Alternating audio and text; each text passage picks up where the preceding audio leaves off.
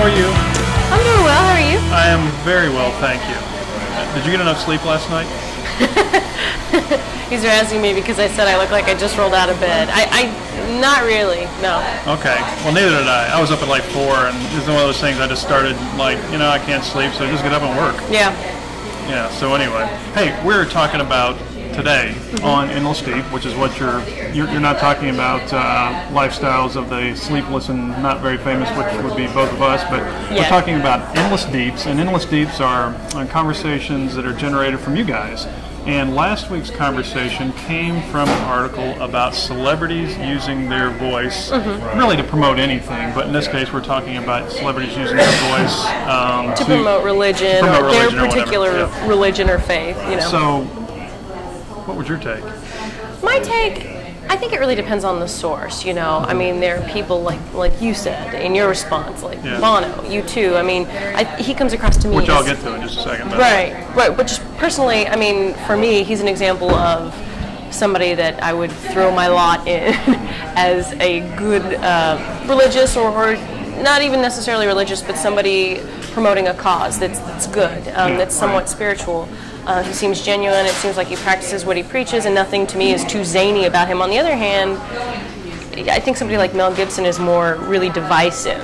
Yeah. You know, I mean, he puts out some amazing uh, movies. You know, Passion of the Christ. I mean, what that did for uh, the faith is arguably good, and the following is arguably good. But, but you know, Mel Gibson, the person, it's like John Mayer, the amazing musician, versus John Mayer, the questionable human being. You know, that's the same thing with Mel Gibson. So um, I think you kind of have to separate sometimes the craft from the person. And then there's Stevie B. Yeah, if you yeah. read Matt's article, I just think that uh, the whole angle and I don't know, it's just kind of scary. Well, here, you know, here's my take with Stevie B and his point of view. Uh, it's kind of what I spoke to in, in the piece that I responded. Is hey, look, he's entitled to his opinion, Right. And he, if, if that's what he believes and that's what's true to him, well, then so be it. Right. But no one, I don't think, should follow that or take that as the gospel, as Right. it were, just because he said it. Right. And likewise, you know, for Bono, okay, look, I just want to be clear that yeah, I'm a, I'm, you know, I'm OCD about Bono and U2's music. I've listened to him for like half my life, but it's what he said that captured my attention. It's not Right. who said it. Right. You know what he said, which is um, actually it's. Bono didn't participate in the discussion, so it's, we're cheating a little bit to use his quote as one of the endless deeps. But what he said is what captured me. He said, "What are you going to tell your children that you did while an entire continent withered away from AIDS?" So it wasn't that Bono said it; it's what he said. And I wrestled with that question, um, and that's kind of where I come down. It's no matter who says it—a celebrity, uh, a, a journalist, a, a, a preacher, and no matter who says it.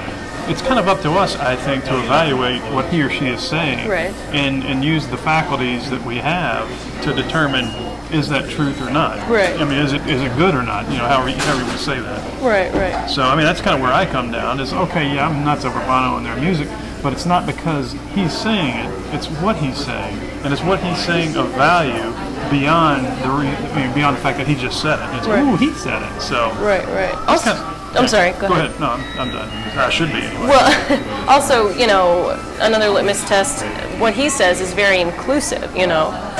I mean, uh, the whole world, the whole, when an entire continent is withering away from AIDS, should be aware, should be, you know, cognizant of this and mindful and thinking of, regardless of their dem- denomination, you know, of how they should help. So, so I Yeah, think right. that's another. and, and how it's we as people um, can respond to that um, is is probably good for another discussion. What's the appropriate way to respond to Mm-hmm. Right. that? Should everybody responding the same way? I mean, right. that's that's a, probably another good conversation. Um, speaking of another good conversation, next week, Jen, we are talking about what? Free will. Um, this is a good example of how this site is supposed to work.